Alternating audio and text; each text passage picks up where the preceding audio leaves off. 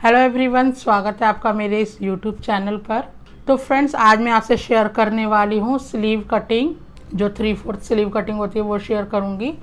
और जो बिगनर्स होते हैं, उनसे कुछ गलतियाँ भी होती हैं, जैसे कि जो फ्रंट का स्लीव होता है, जैसे कि जो फ्रंट में हमने जॉइंट करना होता है, वो बैक में जॉइंट कर देते हैं। तो ये भी काफ़ी कमेंट आ रहे थे मुझे। और बहुत ही आसान तरीके से मैं बताऊँगी आज का जो ये स्लीव का वीडियो है।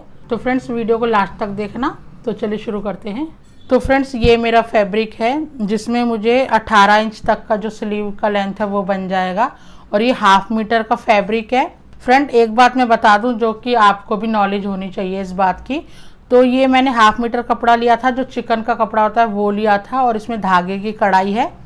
तो वाइट कपड़ा था जिसको कि मैंने इस तरीके के बादामी कलर में कलर करवाया है। पर आप देख रहे होंगे कि जो इसका वाइट चिकन है, उस पर कलर ही नहीं हुआ। तो ये आपको पता होना चाहिए, इसलिए बता रही हूँ बस। तो ये इस तरीके से देखिए, मैंने फोल्ड किया हुआ है। ये नीचे इस तरीके से कट डिज़ाइन है तो मुझे फोल्ड करने की भी ज़रूरत नहीं है। ये स्लीव के बॉटम में आ जाएगा डिज़ाइन तो ये इस तरीके से है। और ये मैं सीधा तो अंदर करूँगी और उल्टा जो रहेगा, वो बाहर रहेगा। तो इस तरीके से जो है, ये अर्ज़ का साइड है, ये अर्ज़ है ये जो अर्ज़ है और ये हाफ़ मीटर की लेंथ है। तो फ्रेंड्स, मैंने इस तरीके से फोर फोल्ड लेयर में जो है बिछा के रख दिया है। खुले हुए चारों साइड मेरी तरफ़ है और यहाँ से फोल्ड है। ऊपर से भी फोल्ड है। ऊपर से अगर ना भी फोल्ड हो तो भी चलेगा कपड़ा, पर यहाँ से जो है पूरा फोल्ड होना चाहिए। तो फ्रेंड्स, सबसे पहले मैं आपको बता दूँ कि कोई भी, अगर कोई भी साइज़ की स्लीव आपको बनानी हो ना तो जैसे कि मैंने फोर फोल्ड में कपड़ा रखा हुआ है तो ये वाली चौड़ाई आपकी 10 से 11 इंच होनी चाहिए। तो इसमें आपकी कोई भी साइज़ का जो स्लीव है, वो आराम से निकल जाता है।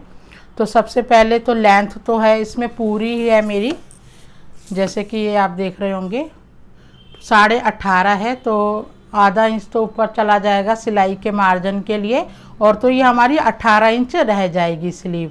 तो सबसे पहले जो हमें निशान लगाना है, साढ़े तीन पे एक निशान लगाऊँगी, और ये भी साढ़े तीन जो है, हर साइज़ में ले सकते हैं इतना ही। और इसको सीधा कर लूँगी बिल्कुल। इस तरीके से सीधा कर लिया है। तो अब इसकी ये चीज़ कितनी रखनी है, मैं अपना कुर्ता उठा लूँगी, जिसमें मुझे इसको अटैच करना है। तो फ्रेंड्स, ये कुर्ता है। फ्रेंड्स, इसका भी वीडियो मैंने बनाया हुआ है, जैसा कि छोटा नेक था तो मैंने उसको डीप किया था।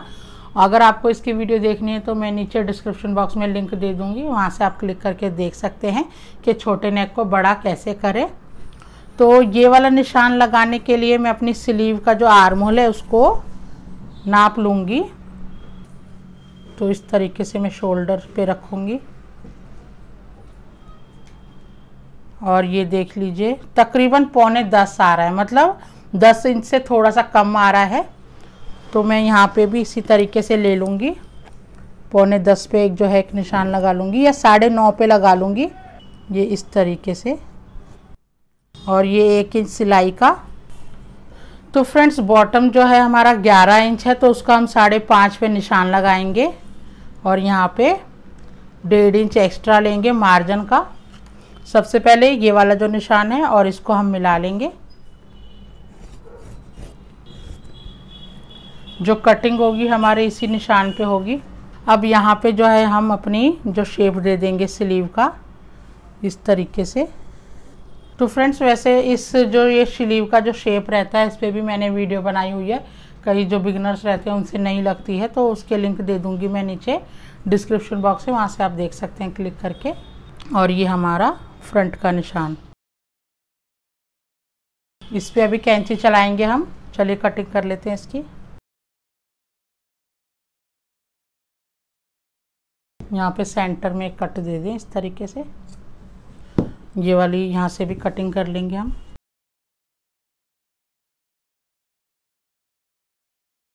तो ये हमारी स्लीव कट चुकी है। अब क्या करेंगे, हम इसकी दो लेयर को पकड़ेंगे और इस तरीके से कर लेंगे स्लीव को। तो आप जब भी ये फ्रंट काटें तो ध्यान रहे कि सीधा सीधा आपका जो है अंदर होना चाहिए। उसी के बाद जो है आपको ये फ्रंट काटना है। और ये जो फ्रंट का ज़्यादा कटा हुआ होता है, जो कुर्ती का फ्रंट साइड होता है, वहीं पे ये चीज़ आती है।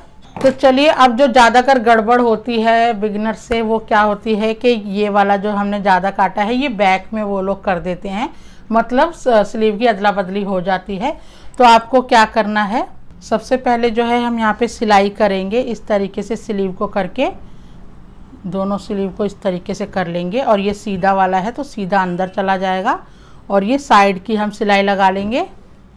सीधा वाला अंदर रहे, याद रखिएगा और यहाँ पे जो हम सिलाई लगा लेंगे। और फ्रेंड्स, कई बार क्या होता है कि प्लेन कपड़ा होता है तो पता नहीं लगता कि सीधा और उल्टे का तो जैसे अभी मुझे तो पता लग रहा है, पर कई लोगों को पता नहीं लगता। तो आप क्या करें, उल्टी साइड पे इस तरीके से चौक से क्रॉस कर दें दोनों स्लीव में तो आपको पता रहेगा कि ये उल्टा साइड है हमारा। तो चलिए इसकी साइड की सिलाई कर देते हैं, फिर मैं आपको आगे बताती हूँ।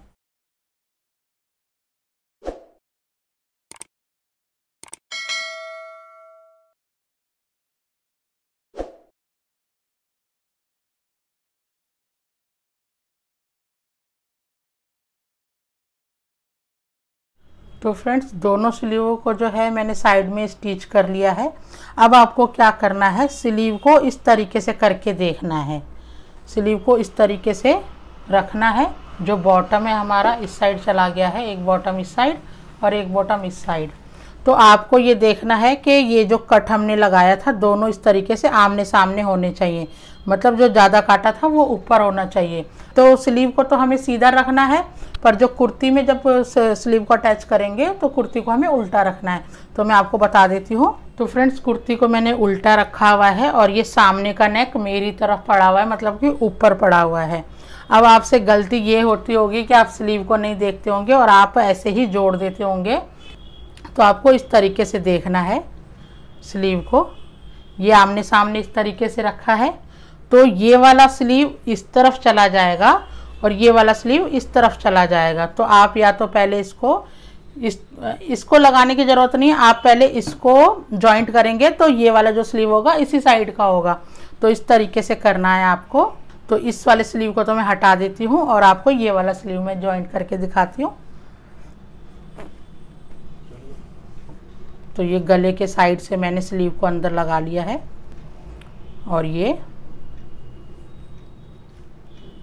इस तरीके से जो हमारी सेंटर की सिलाई है, ये मिला के रखा। बस एक बात का आपको ध्यान रखना है कि खींचना नहीं है, किसी भी कपड़े को नॉर्मल लेके चलना है ढीला ढीला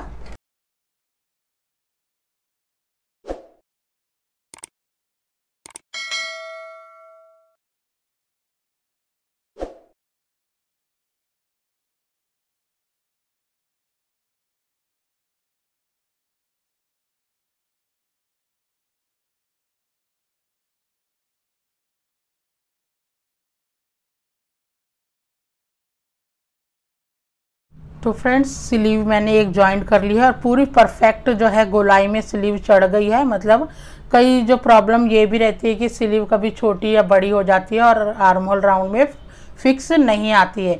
पर जिस तरीके से मैंने कटिंग की है आर्म होल को नाप के मैंने स्लीव को काटा है, अगर आप भी ऐसा ही करेंगे तो आपकी स्लीव बिल्कुल परफेक्ट चढ़ेगी। तो एक तो स्लीव मैंने इसमें लगा ली है, दूसरी भी इसी तरीके से लगानी है। चलिए लगा लेते हैं।